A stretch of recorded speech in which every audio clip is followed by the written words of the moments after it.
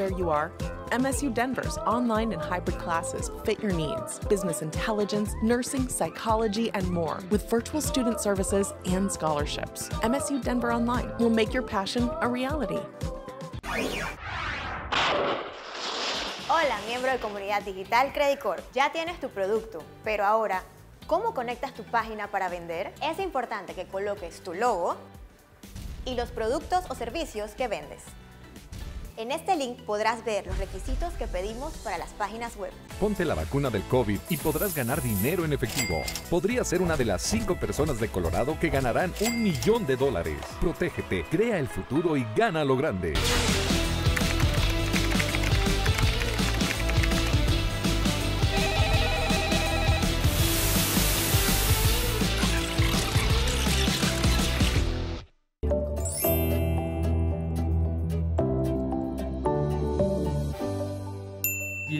Este curso de desarrollo personal en el cual te voy a acompañar a lo largo de una serie de pasos para que seas capaz de liderar tu vida a través del autoliderazgo. Soy Alberto Apolo, soy emprendedor, comunicador, escritor, creador de contenidos. Llevo más de 10 años acompañando a personas inconformistas como tú en procesos de crecimiento personal y reinvención profesional. ¿Cuál va a ser la metodología del curso? Es un curso eminentemente práctico, también tiene parte teórica, pero es 100% efectivo, cuya estructura se divide en cinco módulos. El primer módulo sería de autoconocimiento, es decir, conocerte a ti mismo. El segundo módulo sería cultivar ese amor propio, es decir, mejorar tu autoestima. El tercer módulo sería realmente cambiar tu mentalidad, cambiar tu mindset, reprogramar tu mente. El cuarto módulo vamos a ver cómo descubrir tu propósito, esa razón de ser, ¿no? Para finalmente en el quinto módulo desatar tu potencial. ¿Cuáles son los objetivos del curso? Lo primero, conocerte, ¿no? Tener claridad, tener enfoque. Lo segundo sería recuperar tu confianza, tu autoestima, tu valía, confiar en ti.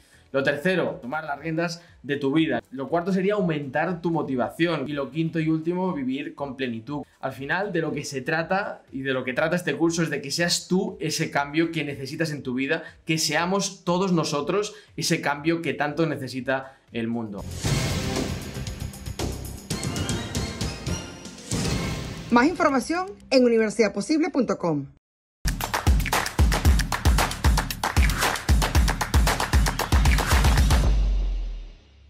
¿Qué tal amigos? Bienvenidos como todos los jueves a sus conversaciones de los jueves con Daniel Lara Farías. Yo no sé dónde está él, pero miren, yo estoy comiendo una tortica. Esa porque yo adelanté la fiesta con piñata esta Exacto. y tengo torta. Exacto. Mm, Bueno, eh, eh, porque te sentaste, porque el que no se sienta no come torta. bueno, Esa es la frase, esa es la frase yo lo que de- te tenía que anunciar con esto es que pedí el libro. Ajá. Entonces, lo que pasa es que aquí hay fiestas patrias. Tú sabes, yo te conté que esto es como, correcto. como Sí, mucho sí, tiempo, ¿no? Pero ya me avisaron que el lunes me llega el que era el imperio y debe estar llegándome aquí a Panamá el miércoles o el jueves. ¿Qué Muy tal? importante, muy importante, muy Ajá, importante. mm. Muy importante que lo leas. Muy importante Bueno, que te llegue y que lo leas. Yo por lo pronto me estoy comiendo la torta. Eso está muy bien. Eso, eso es, es, es importante comerse la torta. Recuerda que hay frases de fiesta con piñata. Número uno, eh, esa es una, que no se sienta no come torta. Y Y, es esa es, y esa es la frase, esa es la frase, o sea, cuando, cuando tengas el libro y cuando lean el libro se van a dar cuenta de por qué esa frase es importante. Mira, y cuen... pero tú no me puedes dar un adelantico. Más, te puedo dar Cónchale, uno, pero yo, está no estoy en Patreon, pero también me vas a obligar a meterme en Patreon. Uh, ¡Ay, qué bello! qué Ya maravilla, lo ¿ves? tienes en tus manos. Así es, así es. Estoy, es que estoy, Mira, pero eh, ya yo sé que tú estás haciendo un concurso, o mejor dicho, un concurso no.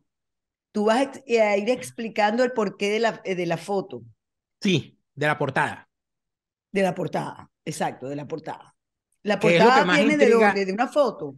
¿Qué es lo que más intriga causa? Claro, la, la portada es una representación Es una representación. de una foto real, Quienes que vayan, yo, yo no sé por qué yo tengo la impresión de que yo vi una foto así. sí, ¿verdad? Te da como, como, Tengo una, tengo la impresión y creo saber quién es uno de los personajes, pero tendrás que explicármelo tú. el asunto Uno, porque es, el otro no tengo idea quién es. el asunto Creo, es- creo yo saber, pero no no lo sé. No sé. Yo lo que sé es que el próximo miércoles 16 de noviembre voy a estar en Berlín, en el Café Señorita Plof. en Señorita Euler- Plomo. Señorita Plof se llama. Ah. Señorita Plof se llama el café. A las 6 de la tarde, en el Café Señorita Plof de Berlín. El Qué- 2 de diciembre voy a estar en Barcelona, en, eh, en la librería, ya te voy a decir cómo se llama, se llama... eh, a ti se te olvide un nombre, eso sí es difícil. Porque es que está en catalán. Ah, por eso, por eso es que yo entendía que era, era Entonces, difícil. como está en catalán, este, se me hace complicado, me van a perdonar. Nada contra Cataluña, nada contra los catalanes, todo lo contrario. Mira, se llama eh, Libre, Libre Solidari, se llama la, la librería, Libre Solidari. Está muy bien. Eso, Eso es va a ser el, 2. do- el viernes 2 de diciembre a las 7 de la noche. Esa librería queda en Carrer de Provenza 146. En Berlín ya les dije que voy a estar el próximo miércoles 16. El miércoles 16 vas a estar en Berlín y regresas a, a tu ciudad. ¿A cuándo? Eh, no, voy y vengo. No digo, porque el jueves tenemos programa. Yo estoy muy cerca de Berlín. No, no, voy y vengo, voy y vengo. ¿Cuánto es de donde tú estás a Berlín? Como una hora. ¿En tren? Sí, Qué una, bueno. una, una hora y diez minutos. El 17 de diciembre estoy en Londres. Por fin vas a ir a Londres. Ir a Londres. Voy a estar en Victoria, Victoria Library en el Palacio de Buckingham. O sea. Ay, pero mi amor, pero te volviste de la de la monarquía y todo. Allá voy a estar eh, siendo presentado por el buen amigo eh, y mejor periodista Alec Boyd. El 9 de eh, diciembre, o sea, es el 2 de diciembre en Barcelona, el 9 de diciembre en París No. ¿Y, el dónde vas a estar ahí? 17, el 17 de diciembre en, eh, en Londres. En París voy a estar en la sede del Ayuntamiento del Distrito 20 de París. Todavía está por confirmarse la hora, pero ese va a ser el lugar y el presentador, el que me va a hacer el honor de presentar el libro va a ser mi amigo Rosmi Mantilla. Ay, tan bello. Qué bueno. Yo no sabía que Rosmi estaba viviendo en París. Sí, Rosmi es parisino, absoluto.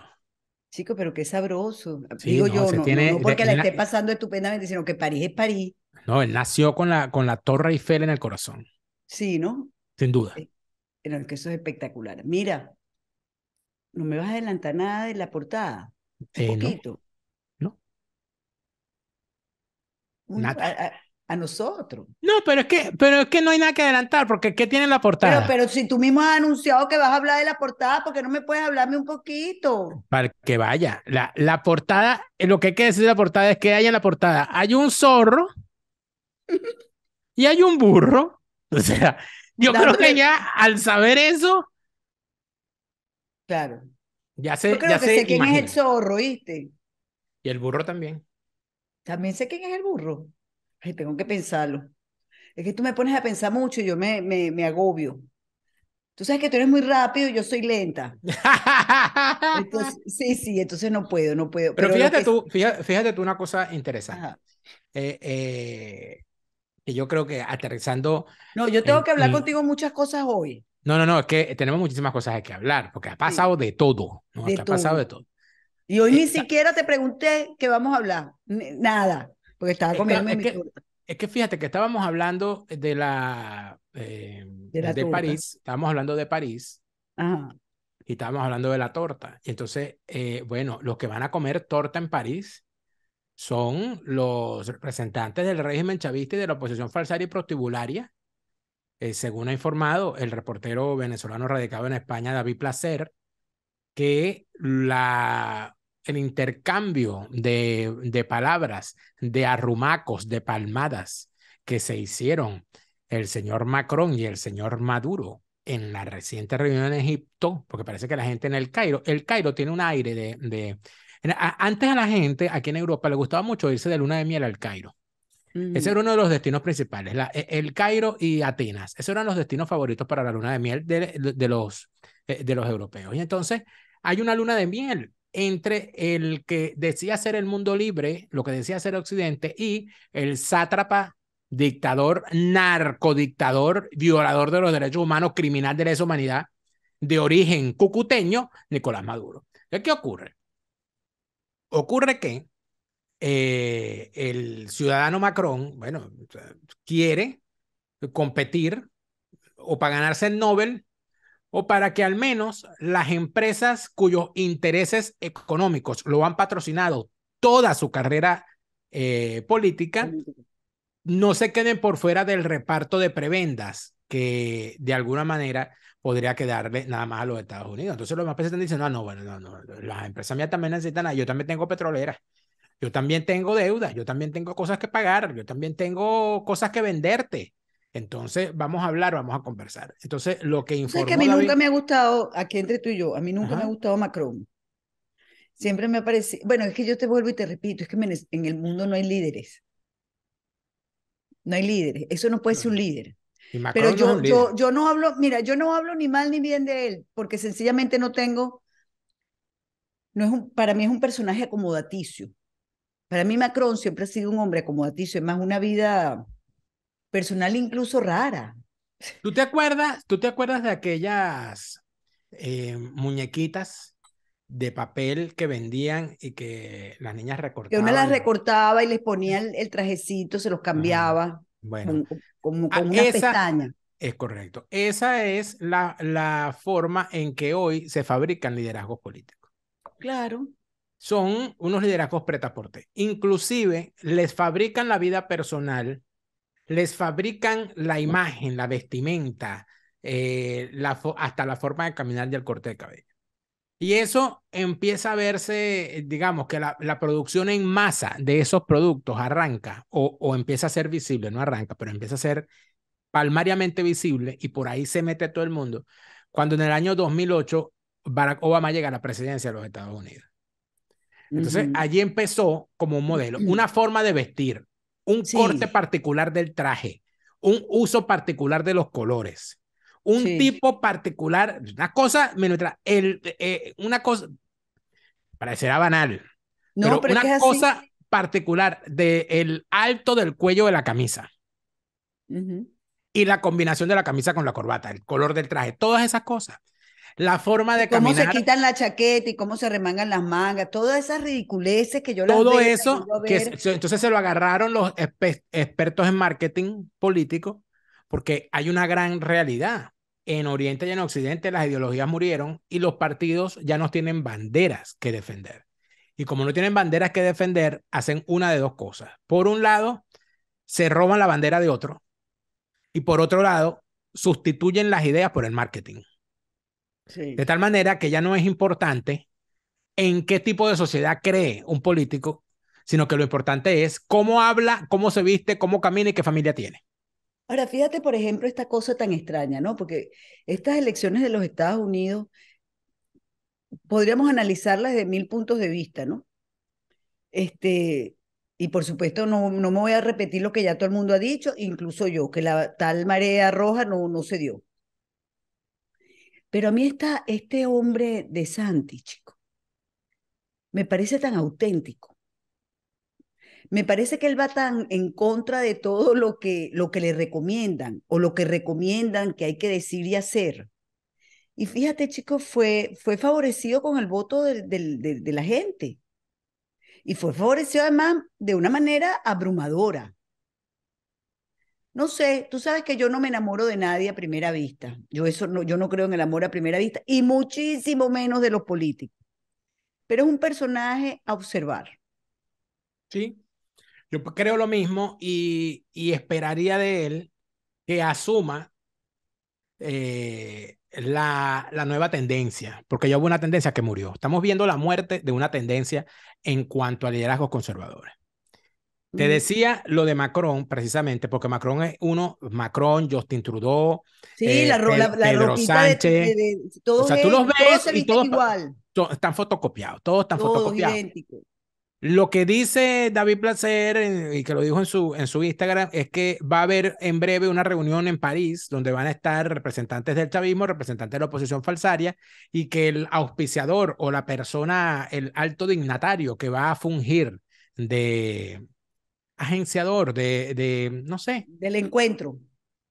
De, de, de ¿cómo déjalo, déjalo en encuentro. De Celestino. Ah, bueno. Del encuentro.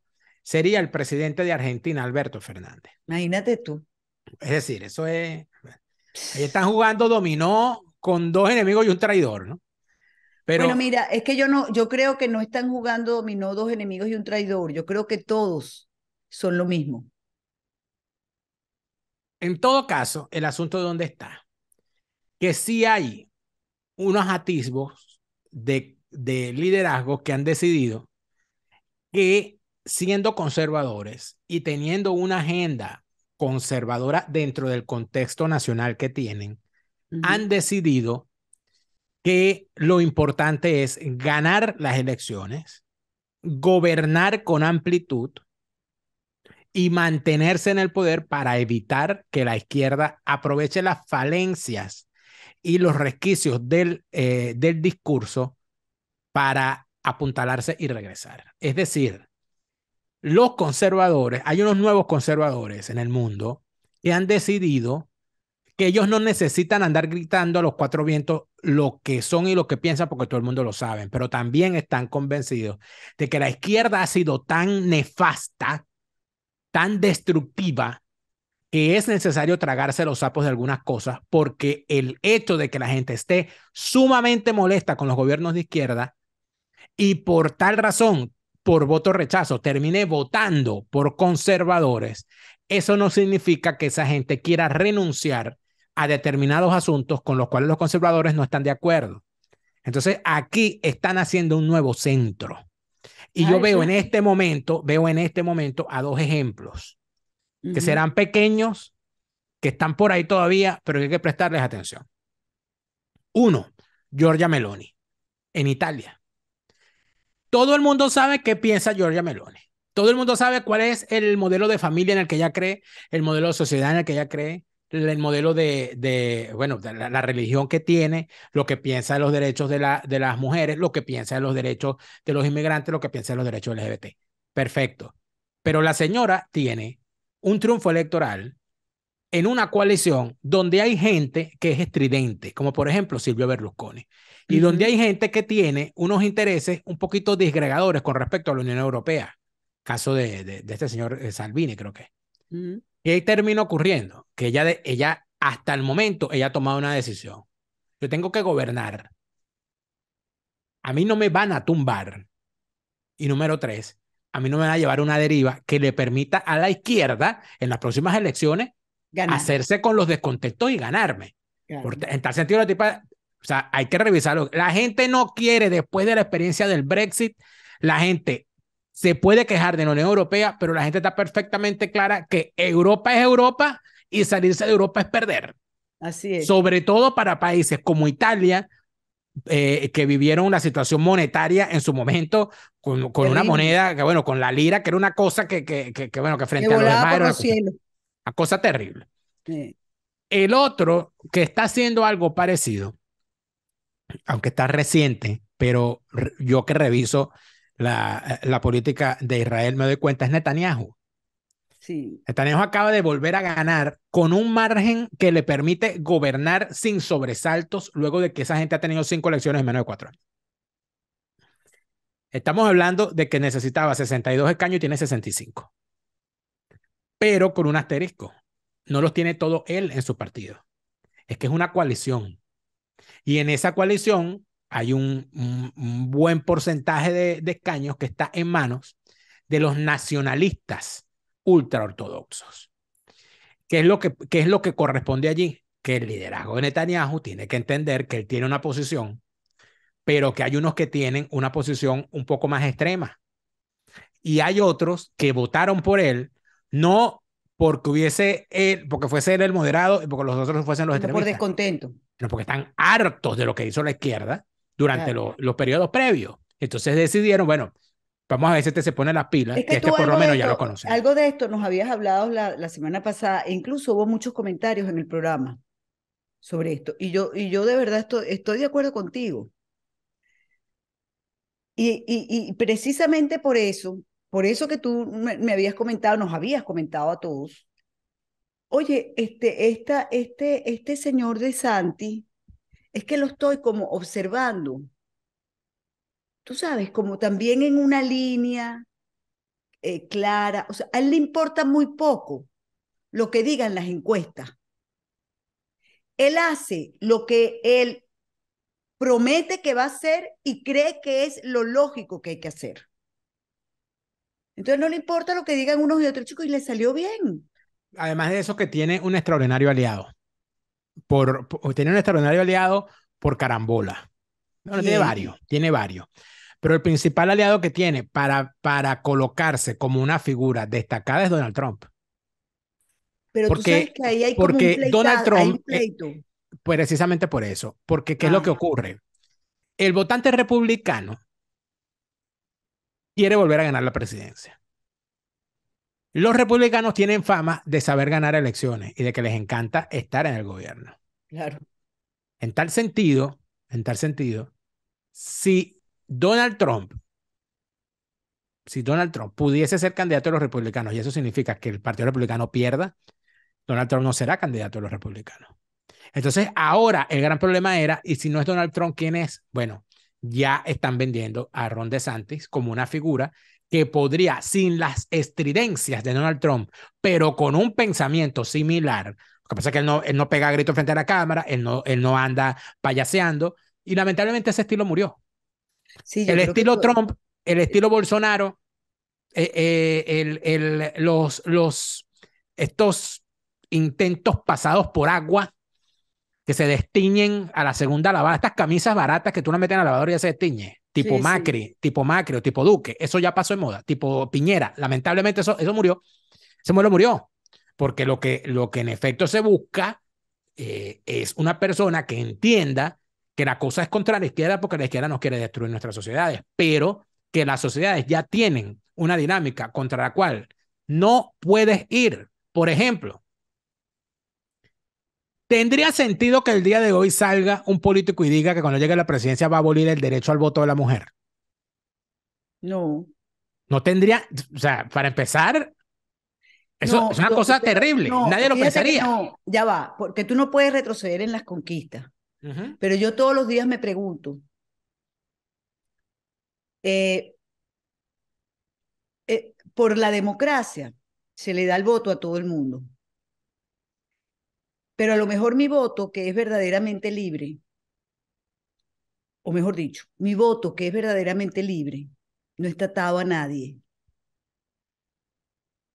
Vale igual que aquel voto de quien sobrevive gracias a una caja de clap.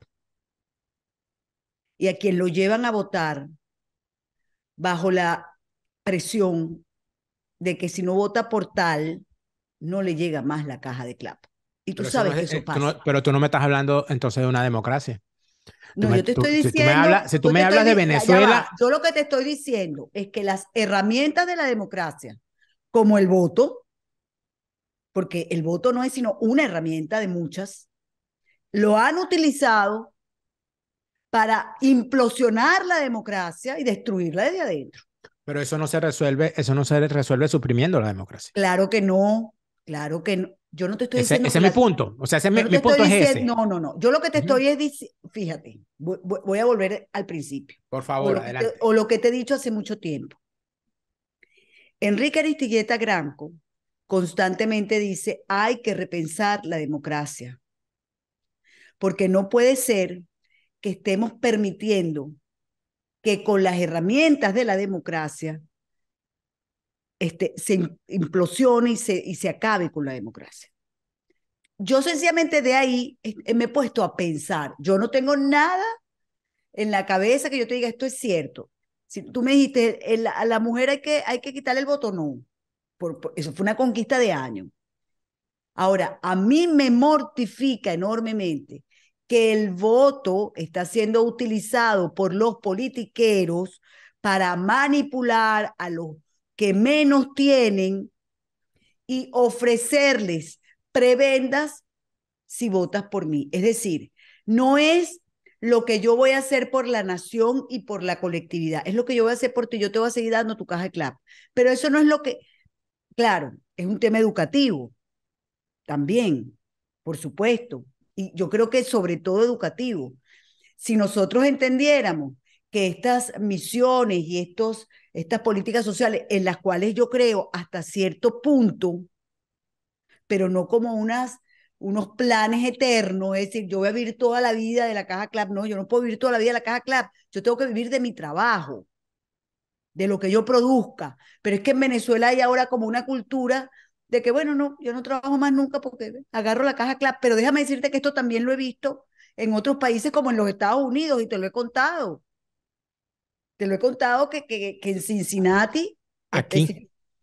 Ah, en Alemania. Aquí, Eso no puede en- seguir. no, y en. Europa, en toda Europa. Pero es que el, el asunto está, Nito, en que el, el que nosotros consideremos, y eso es, eso es mi, mi llamado, o sea, esa es mi, mi, mi preocupación. Hay muchísima gente que de vez en cuando viene y me dice, mira, ¿qué, qué, ¿cuál es tu opinión de mi ley? Y yo siempre doy la misma opinión. Cuando mi ley empiece a ser un político y deje de ser un youtuber, yo daré mi opinión sobre él. ¿Por qué? Porque el pegar gritos frente a una cámara da vistas, viraliza, monetiza y probablemente te haga famoso si la pegas. Pero el asunto es que tú no puedes eh, pretender que, el, que las ideologías son una pastilla mágica que soluciona todos los problemas, porque si algo nos ha demostrado, si algo nos han demostrado eh, todos los años de historia de, de la política, es que es completa y absolutamente falso. Entonces, ¿qué ocurre? No, que necesitamos que sea ser un país de propietarios y de empresarios. Y entonces aquí hay que el Estado, no, en la menor cantidad de impuestos posible, el Estado más pequeño posible. Yo eso estoy de, yo no estoy de acuerdo con que haya un Estado empresario, yo no estoy de acuerdo con que haya un, eh, un Estado dueño de empresas, no estoy de acuerdo con que el Estado esté en un Estado intrépito en la vida de los ciudadanos, no estoy de acuerdo con, la, con, la, con el control de la, de, la, eh, de la economía de una forma eh, eh, planificada por parte del Estado. No estoy de acuerdo con eso. Pero el gran problema es el siguiente. ¿Qué va a hacer usted con los millones de ciudadanos que en su país están por debajo del índice de pobreza? Porque han tenido, y cuando hablo de pobreza no hablo solamente de pobreza económica, hablo además de pobreza intelectual, de pobreza educativa y de escasez de recursos para, para desarrollar su vida plenamente. Tú eso no lo resuelves a un ciudadano que está comiendo de la basura. Tú ese problema no lo resuelves diciéndole, no, vaya a montar una empresa, que esto es un país de empresarios.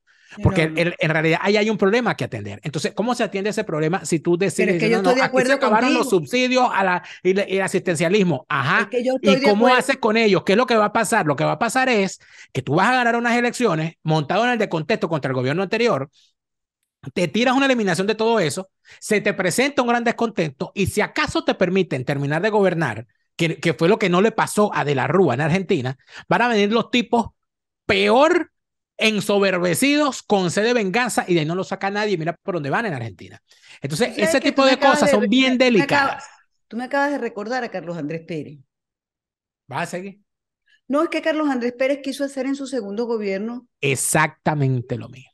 claro, y no lo ¿Y qué pasó? ¿Y qué pasó? Lo tumbaron, Ahí está. pero lo Entonces, estoy- por eh, eso te lo, es muy te lo delicado. estoy- Claro, porque además de eso tienen otro grave problema que tienen todos los políticos, y por eso que son políticos. Tienen un ego hipertrofiado que creen que con el ego de ellos basta y con el carisma basta para abrir todas las puertas y eso no es verdad. Tú tienes que explicarle a la gente. Fíjate, hay una cosa que aquí eh, eh, eh, la gente, la, la- no hay, la generación de mi papá detesta a Teodoro Pekov. Y no por guerrillero, sino por la modificación de la, de la, eh, de la ley de, de prestaciones sociales. Yo debo ser, yo debo ser contemporánea con tu papá.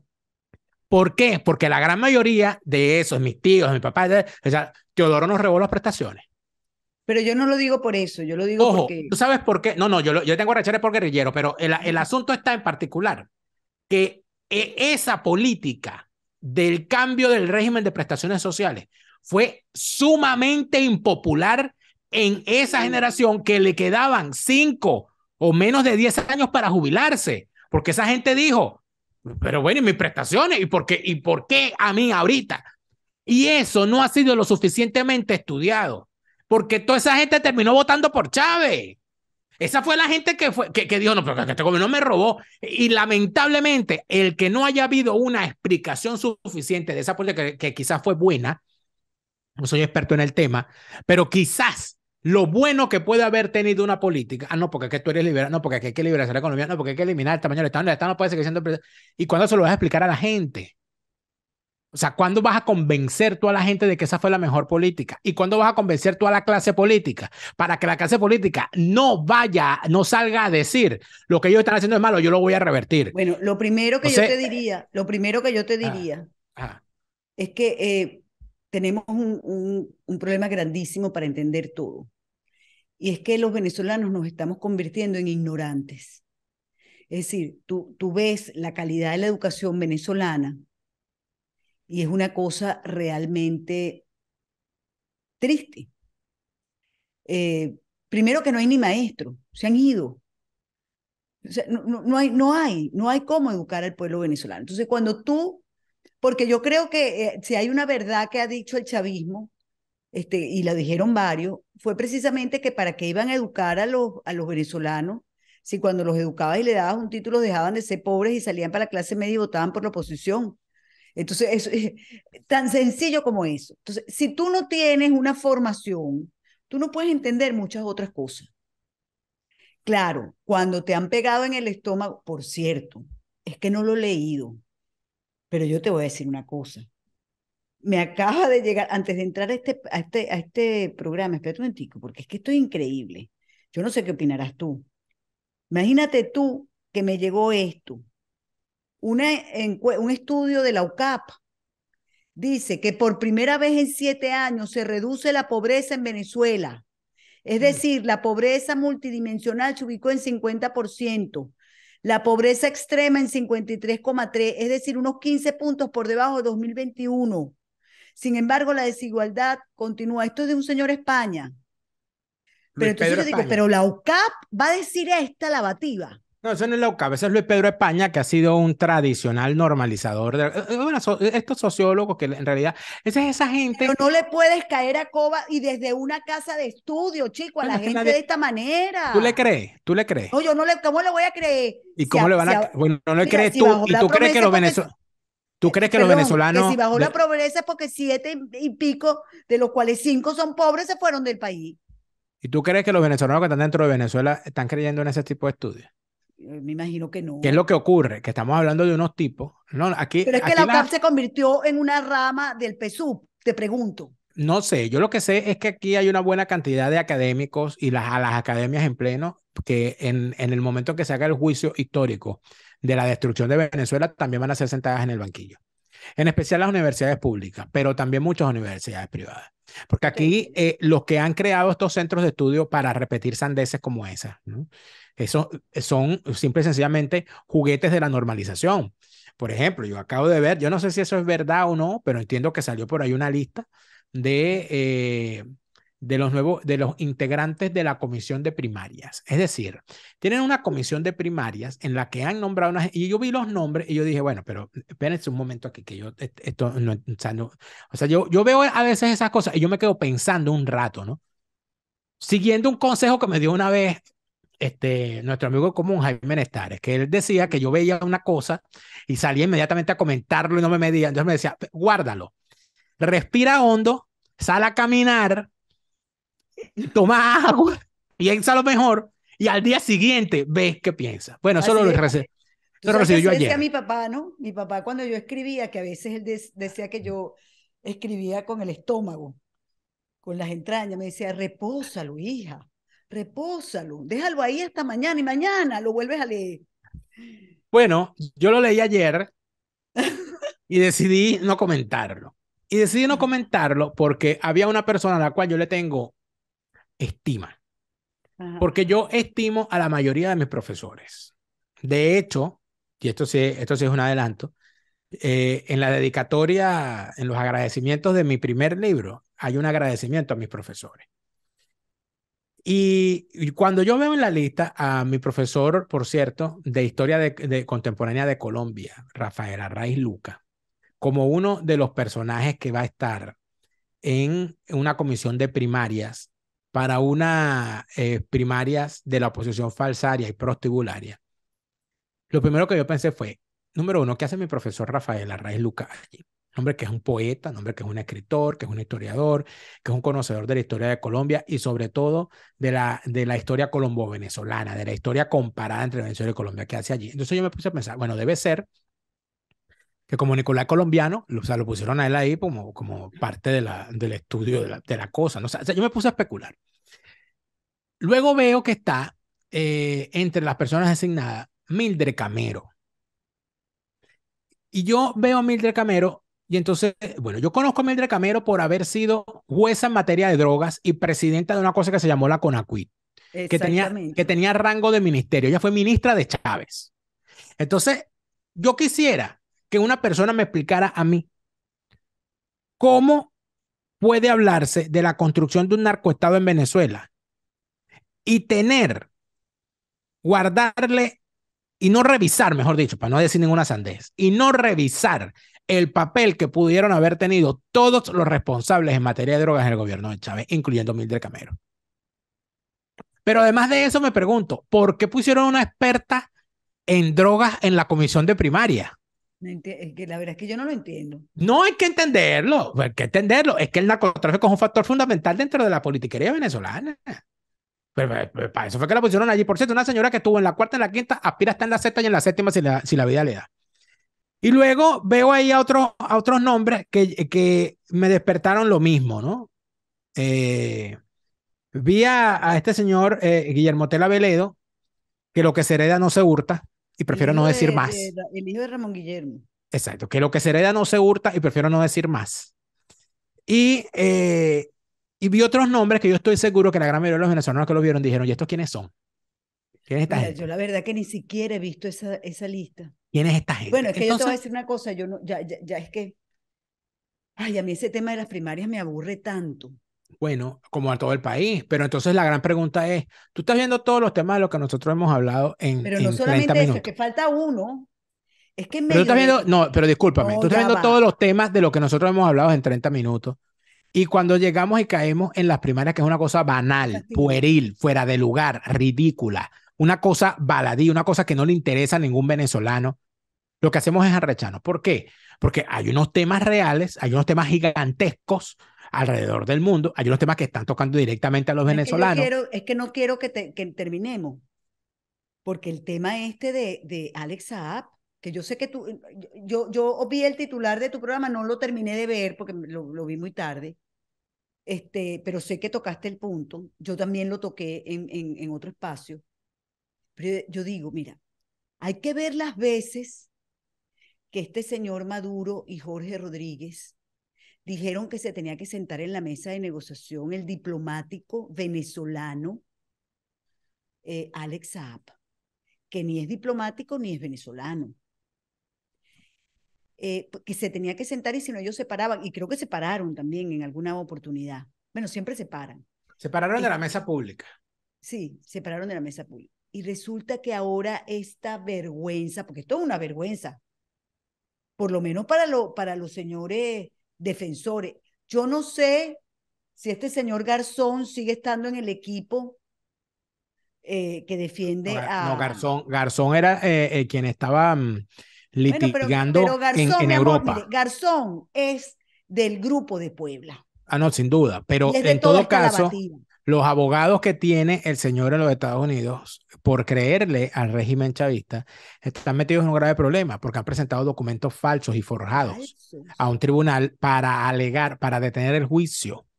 Porque esto es importante, el juicio no ha comenzado. El juicio no, ha se comenzado. Tenía que dilucidar si era o no era diplomático. Y para dilucidarlo, iba para afuera. Y para dilucidarlo, los tipos llevaron documentación falsa, documentación forjada, que es pero, mi demostrable, demostrable que es forjada. Ajá, pero mi, mi pregunta no, mi reflexión contigo. Mientras esto pasa, dime qué político venezolano de la oposición o del régimen ha dicho esta boca es mía con relación a eso. Ningún político. Imagínate tú que cuando yo vi eso dije, ay Dios mío, pero ¿por qué no estarían las partidas de nacimiento en la biblioteca del Congreso de los Estados Unidos para que vieran que Maduro es colombiano? Si son capaces de esto, por supuesto que fueron capaces de quitar la partida de nacimiento, de hacer una falsa, todo eso. Tal cual. O sea, esto nos queda, esto no es sino la comprobación de lo que son capaces para mantenerse en el poder.